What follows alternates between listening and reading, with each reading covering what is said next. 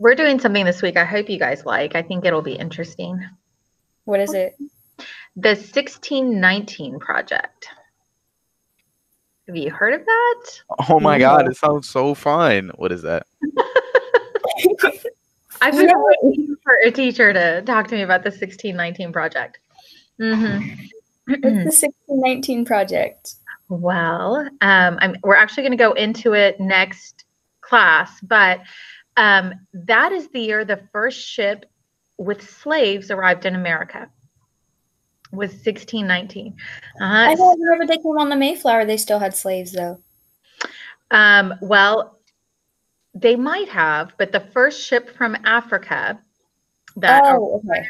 in America with slaves, we believe is landed here in 1619. So last year was the 400th anniversary of that.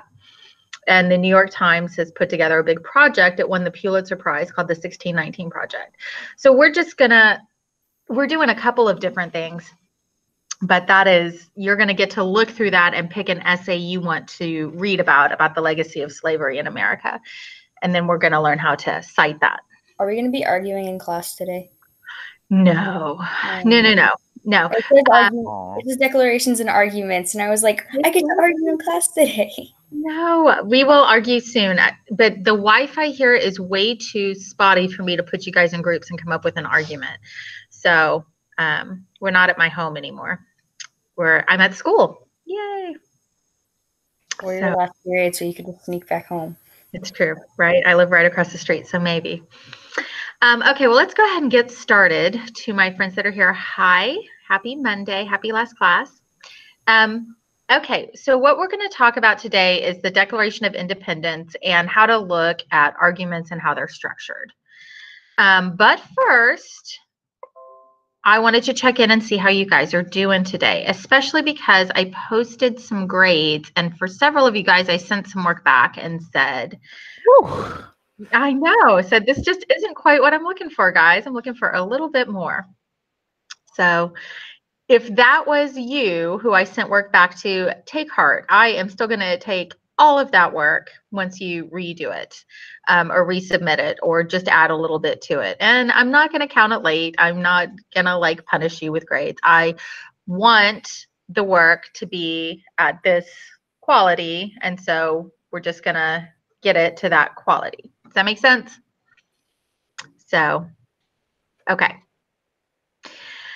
Um, and you guys really communicate with me. If you think I'm giving you too much work, I'm going to need you to tell me that. I'm running this class at a pace I think is reasonable, but I'm also teaching on ramps, which is the dual enrollment college class and AP literature.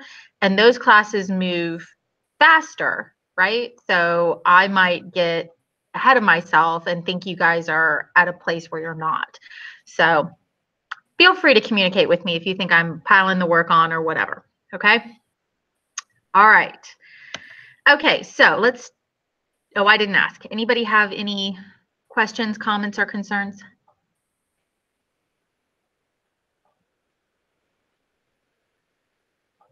Okay. Okay, declarations and arguments. I want to revisit the rhetorical triangle again. I know we've talked about this, um, but this is how arguments are built. So I want you to think about those three parts of the rhetorical triangle the speaker, the audience, and the subject, and how all of those are equal. It's an equilateral triangle with equal angles and equal sides. And those three parts are equal to each other in importance. And in the middle, we have the purpose. So our thinking is what is the speaker want the audience to do, to think, to believe about the subject? And that's where we'll find purpose. So, as we look at the Declaration of Independence today, we're going to think about who wrote it, who was the audience, and what was the subject. And once we think about that, we'll have an idea of what the purpose of this document was. So, in an argument, there's the purpose, there's a claim, something that the speaker or writer is arguing, There's support for that claim, which could be evidence, it could be quotations, it's a lot of stuff to support that claim. And then there's something called the counter argument, which is where you anticipate what the other side is going to say and you have a response for that. I know some of you are thinking that this isn't important, but because we're studying American literature and this is one of our founding documents, it is important. That was an example of a counter argument. Okay, so the purpose why was this text written? What did the author hope to persuade the audience to do, think, or believe differently? That's kind of where I want you guys thinking. That's what we're going to be annotating for. And I just talked about claim, support, and counter argument. Okay, so as we're looking at the Declaration of Independence, I want you to think about something. I want you to think about what complaints the revolutionaries had against England. What were their grievances? What were they upset about? And do you think other people could have had those same complaints against America? And if so, have those issues been resolved? Okay, so it's not something to answer now, it's something to think about as we're reading the language of the Declaration of Independence. Okay, could other people have said that very thing about us, Americans, about the writers of the Declaration? And if they could, have those issues been resolved, or are we still hypocrites? Okay, we're having some issues with Kami, so we're going to start by doing the Kami assignment together. All right, so in order to do that, I want you guys to go into your Google Classroom, and in just one minute, I will have loaded up the Kami assignment. We need to do all the Kami assignments together. I hate it. Hate it with a passion. I think, Larry, that's because you don't understand it, which is totally, I get that. So I want to make sure we've got it together and then we can go back and do it. Kami is going to just, you're going to love this. Am I? Okay. Am I really? Um, when you're in college and you desperately need something to annotate with, yeah, you are. I don't think this is making it a Kami assignment. So hang on, let me do this again. Create Kami assignment. I'm so sorry, my friends. Um, issue with Kami. That's not, I don't want to hear that. I do not want to hear that we're having an issue with Kami. Alright, so after this one, can we do I do. the history of Virginia thing? We can. You're asking to annotate? Ugh. That would be great. no, I have no idea how to do it. I'm like I've been sitting here for 20 minutes. It's it's just it's just all too much. I'm kidding. Uh-huh. Well, then that's why we're going to do this. We're going to make sure that we are all on the same page. Like the one that says translate his joke. Like I don't even know what that means. Oh, It's yeah, Speaking okay. like Okay. Uh, it's a joke from the 1600s. So, you know, just kind of keep that in mind. I don't like I I've been sitting here for so long. I don't even I do not see a joke. Okay. Well, I promise we'll do that after we get started with this. Okay. So just trust me. Today's the, okay, so this will be due then, this will be due then, and then. Okay, so now I can, why isn't it letting me assign it to you guys? For English 3. There we go. Now it's going to let me assign it. Okay, dears. All right, so what do you mean try again? Yeah, it's been doing that to me. You better stop it, Kami. We're doing this assignment. No. No, we're Yes. not. Have you guys like done voodoo to my computer? What have you done? What? No. I mean, I got some friends from New Orleans. no, we're doing this. Why are the fates conspiring against me? I did nothing. Uh huh. It's just it's a sign. No. Yeah, it's telling us we're using too much Kami at once. No, But it's it's- because we're using Kami, period. Kami is so good for us though. It's so easy. I say Yeah. that as it's not working. This. hmm Th- think. Think about it. It's Cause so, and effect. This I- isn't working. so so no, no, cool. Okay, I see. So the fates are saying no. Okay, well then let's do this because I want us to do that together. So we'll come back and we'll try that. Um, well, how do I want to do this? Um, okay. Okay, well, you're going to get the Declaration of Independence in some way, shape, or form. I'd really like it to be a Kami assignment, but it might not be. Um, and what you're going to do is you're going to read the declaration and you are looking for the claims and the supporting evidence. So I'm asking you guys to um, look specifically for what claims the declaration is making and what supporting evidence is out there. Okay? Hey, miss, I have a question. Yeah. For those progress reports, are they like are they being sent to our house, or is that like how's that? No. No. I, Oh, well, okay, so they are they digital? Um, they should be digital. I let me just say this: it's my first day at Southwest. At Northside, everything was digital. Nothing was sent out on paper, and I think that that is district wide. Can you block somebody's email? Okay, thank God. I was checking. Here's here's just a free little bit of advice in case you are worried that your parents are going to be furious about your grade. They can email me and I will say I'm in the process of grading, right? Here's all the stuff that Elizabeth has turned in. And I'll let them know kind of where you stand. So I know some of you guys have resubmitted. I just happen to have 140 students that I'm grading all the resubmissions on. So it just it takes me just a little bit, okay? Um, so if if you're concerned though, and you know you've turned in the work, have your parents email me and I can put their mind at ease. Okay. Please It's do. fine as long as it's digital. It's I mean that is I I will. need 78 in your class, but one of them is only because you had me resubmit it, and the other one's because you graded it and then had me resubmit it again. So I'm scared. You complaining about a 78? I have a 42. Well, you know, Larry, I would just I I'm not trying to punish you guys with grades, but if I ask you a question, I want you to take it seriously and answer it. So I'm not calling out any names. Let me just say that I did have a student when I asked what they could tell me about the author, did respond, he's an author.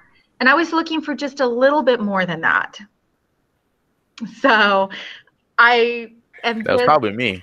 it might have been Larry. So I just want just a little bit more information. I promise not to ask you a bunch of questions that I think are are wasting time or questions to ask questions. If I'm asking you a question, it's because I think it's going to help you or get your thinking in the right place. I, I don't I don't want to grade a bunch of questions that don't matter. You know, um, that's way more work for me. So if I'm asking it, I want you to to to give it a decent shot at an answer. Yeah, Miss Susan, 100% me. I remember the exact question too. well, I remember all the questions I got wrong. okay. And and do keep in mind, I'll let you keep redoing it until you get it to where we're both happy with it. Okay. So I'm not gonna not accept the work. The goal is for you to learn, not to make an A the first time, unless we might have different goals. Okay. I'm right. So I'm going to try this one more time and then I have plan B. Okay. So if you guys will just stick with me. Um, that is not what I want. I want to delete this. Okay. And what I want is to go to Cameo. Um, I appreciate you guys being patient with me that matters. And if not, then I Miss, we won our game. you did. Who did you play? Uh, we played Saginaw, and they suck. We blew them out 36-0. What? That's awesome. That is really great. I was hoping to come, but I did not. Um, but I will definitely be at your games. The next game is in Hurst against LD Bell. I have it in my calendar. I wrote them all down. It's at Pennington Field. Yeah. Yeah. Okay. So, um, okay. So plan B is this, is Kami app.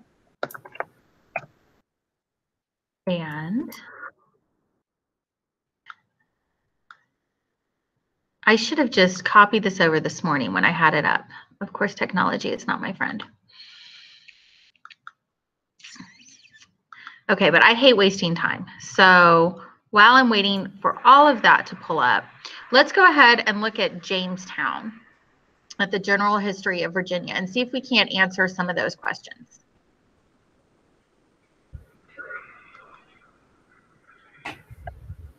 Okay, so this is for Alden and everybody else.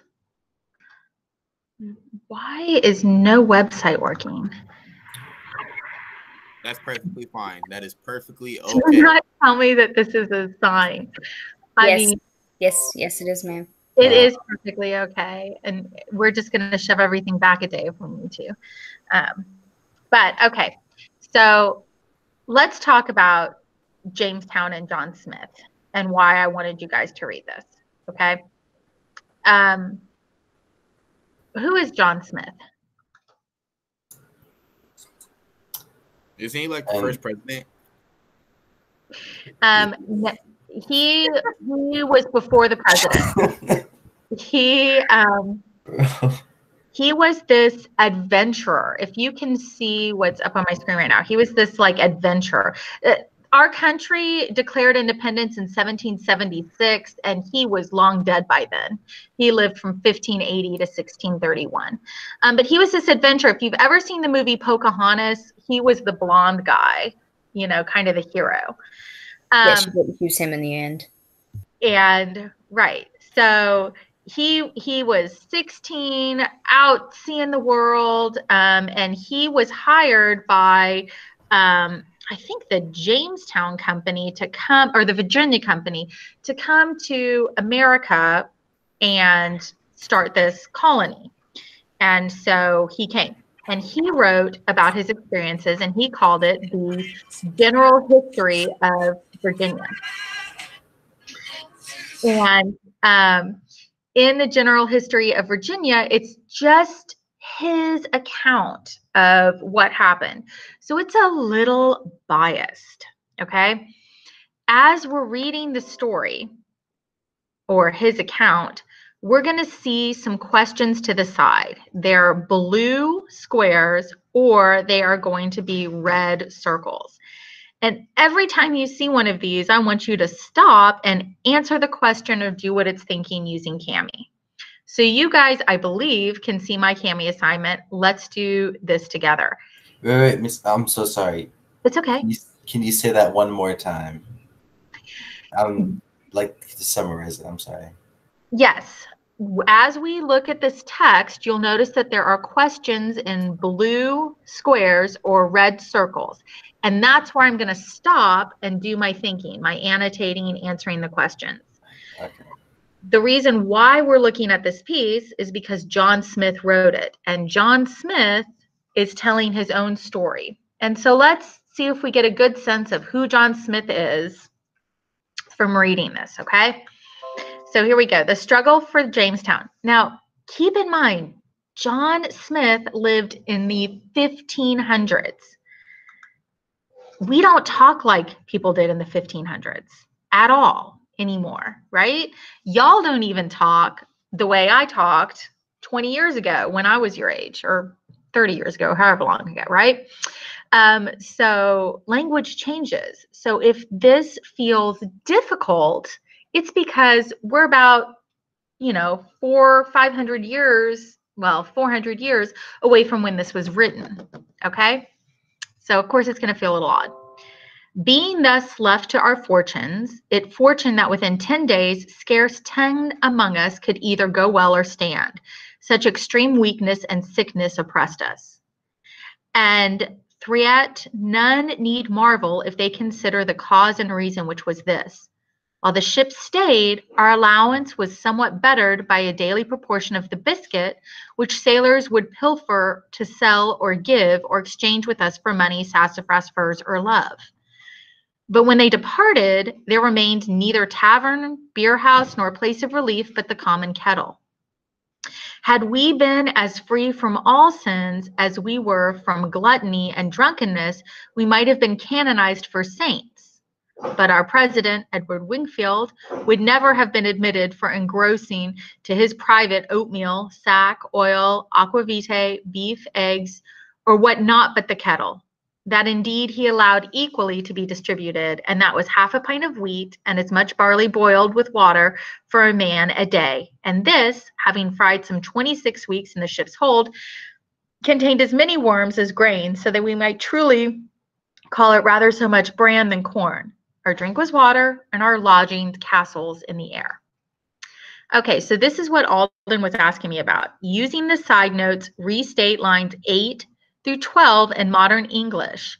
What joke is Smith making? So if I come up here and I look, I see that this is 8 through 12. So I'm going to get my markup tool and I'm going to highlight it. Okay, I'm also going to highlight this. Uh, okay. And I'm maybe going to unhighlight this. Okay. So what is this text saying? Well, I get from the first line that they were sick. And they were sick because they were hungry. While the ships were there, their allowance was better. Okay.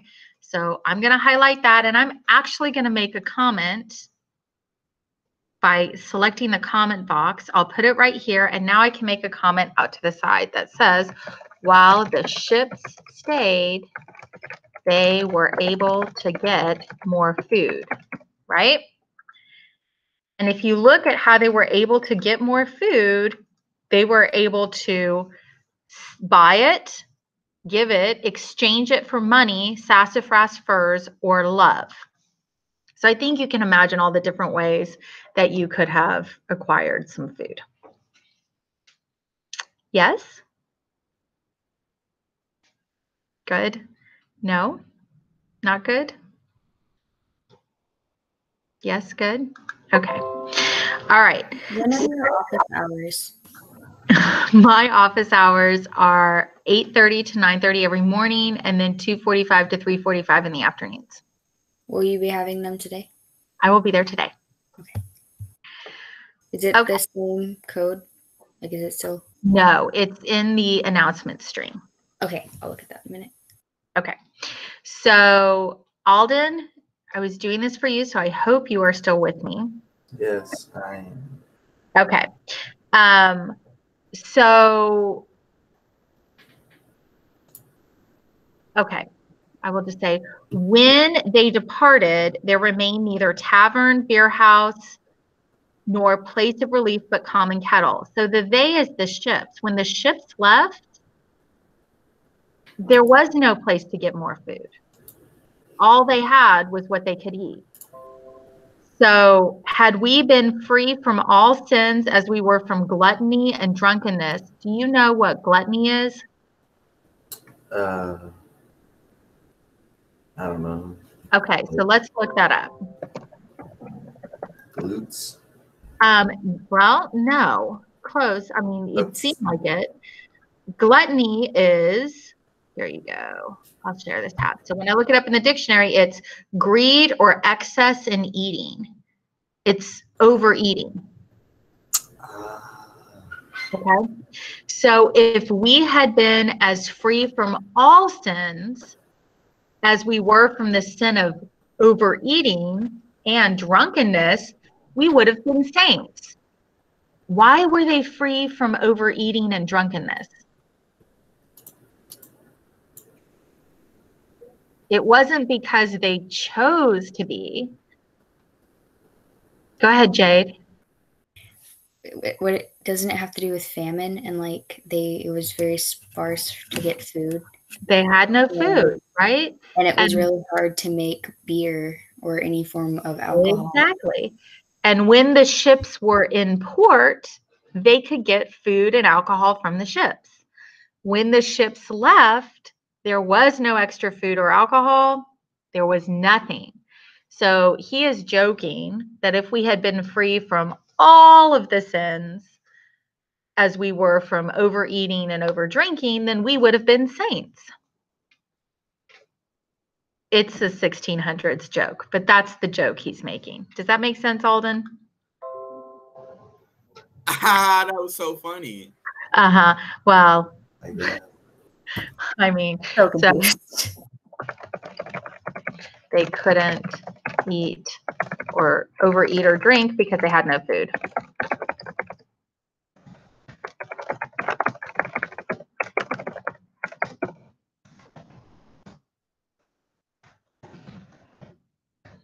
Okay, there you go. So that's his kind of thing. All right, so then I would keep. Uh huh, Can you can you go up? Can you go to the right? so you can see what I just wrote. Yeah. Okay. And this is what I'm looking for in your annotations. I'm actually glad you're having me stop.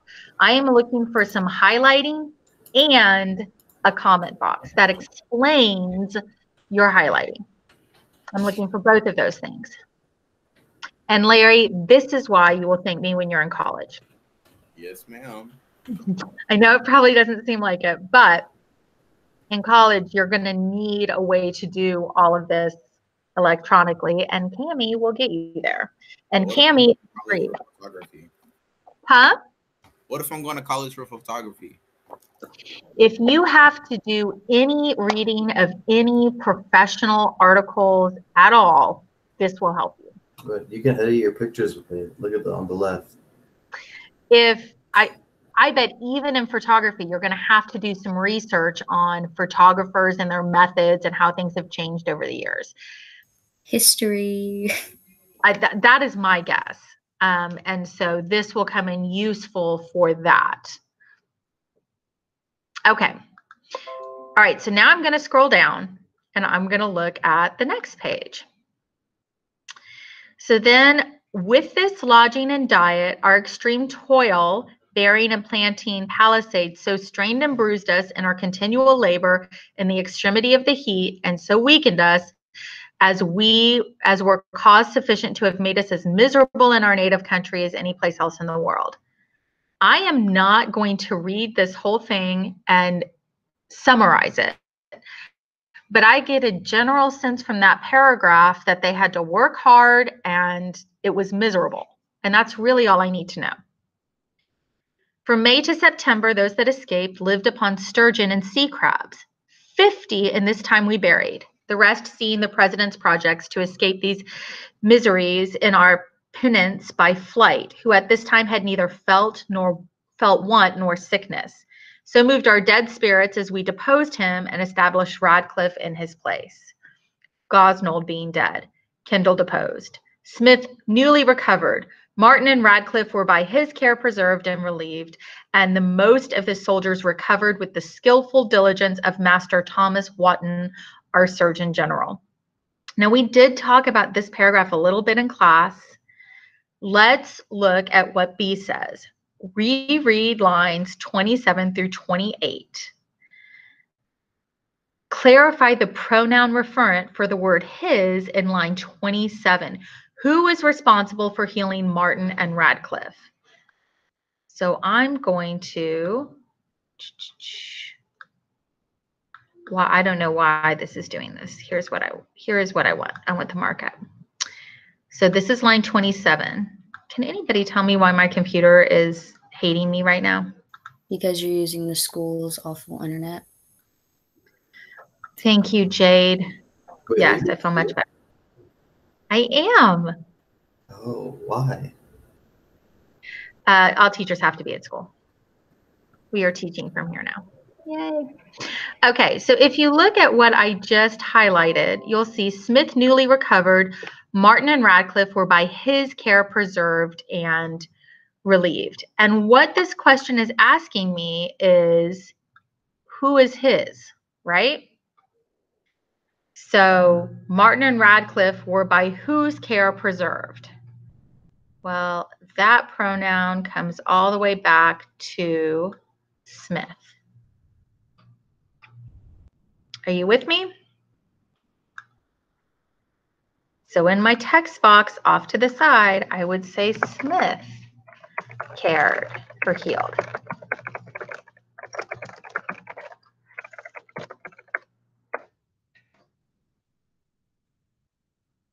Okay, you guys with me? Yes? Yes. Jay's with Alden's with me. Okay, Larry's with me. Anthony, Yvette, Angel, Isaac, Isaac. Okay. All right. So why does this matter? Why do we care? Well, because Smith is the guy that wrote this. And so look at how Smith looks here. Smith recovered from the sickness and then saved the other people in Jamestown, right? Smith is making himself look really good. And Smith doesn't say, I saved them. Smith uses third person. He saved them. Smith was recovered and Smith saved them. Why does Smith do that? Why would you talk about yourself in third person?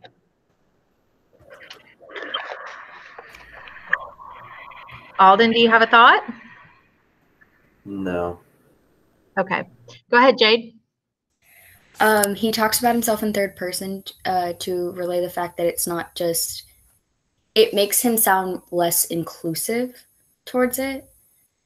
Mhm. Also, the story was made for the perspective of he didn't write it. It's the story of Jamestown, not Jamestown. Yeah. So it makes him seem like he was just some person with a heroic act, not so much as, oh, and by the way, I did this thing. It was it was more going towards the type of Exactly. to not come off prideful. Yeah, it doesn't look like he's bragging. It looks like a history book. This is fact. This is what happened, right? Um, let's read down just a little bit more. But now all our provisions spent, the sturgeon gone, all helps abandoned, each hour expecting the fury of the savages. When God, the patron of all good endeavors, in that desperate extremity, so changed the hearts of the savages that they brought such plenty of their fruits and provision as no man wanted. So now we have the Native Americans bringing food to Jamestown. Can you go right a little bit? Yes. Okay. That's my answer to question B. The new president, Ratcliffe and Martin, being little beloved of weak judgment and dangers and less industry and peace, committed the managing of all things abroad to Captain Smith, who by his own example, good words and fair promises, set some to mow, others to bind thatch, some to build houses, others to thatch. Himself was always bearing the greatest task for his own share, so that in that short time he provided most of them lodgings, neglecting any for himself. So, do Smith's claims sound more or less credible than they would have if stated by a first person narrator? Well, let's look at the claims. Okay. Captain Smith, who by his own example, good words, fair promises. Okay. What did he do? He got some to mow, others to bind thatch, some to build houses, others to thatch him, himself always bearing the greatest task for his own share. He provided most of them lodgings, neglecting any for himself. So, according to this history, it was John Smith who built the community. He's the one who told people what to do. He always did the most work, and he provided houses for everybody, but not for himself. He looks like a hero, doesn't he? Yeah. But who wrote this account? Who is the author? Of course, he looks like a hero. He's writing it. But it doesn't come off as arrogant because he's not saying, and I got these people to do this, and I built this house, and I, I, I. That's not what he's doing at all. He's writing it like a history book, so it seems credible. And so that's what I would write to the side. right where it says, do his claims sound more or less credible? And so I would say, if I can get my text box, I would say, his claims seem credible because he if he wrote in first person, it would seem like he is bragging. Okay. So here, Alden, so you can see that. Okay, so let me say a word about this. I am, of course, looking for you guys to understand what's going on, but I'm not like it has to be exactly what Miss Richey wrote or got out of the text. What you guys get out of the text might be just as valid. What I'm looking for is highlighting and annotation and those comments that tell me what you're getting out of the text. So if we're getting something different and I think you're off base, we can have a conversation. But maybe you're seeing something in the text I didn't see. That's just as valid. It'd be really good for me to see that. So I'm looking for your thoughts, your thinking. That's what Kami is doing. That's what these answers are doing. I'm not worried about the one right answer. There isn't one right answer. There's my right answer, there's your right answer, and I want to know what you're thinking. Does that make sense? So I don't want you to put a bunch of pressure on yourself. I have to find the right answer most of the time there isn't just one right answer. I want to know what your right answer is. Okay, so this is what we were going to do with the Declaration of Independence. But at this point, we have 20 minutes of class left. I have a bunch of missing work from you guys, and I still haven't gotten Kami to do what I want. So we're going to consider this grade improvement day. All right. And that's where you guys get to look at your grades and improve them.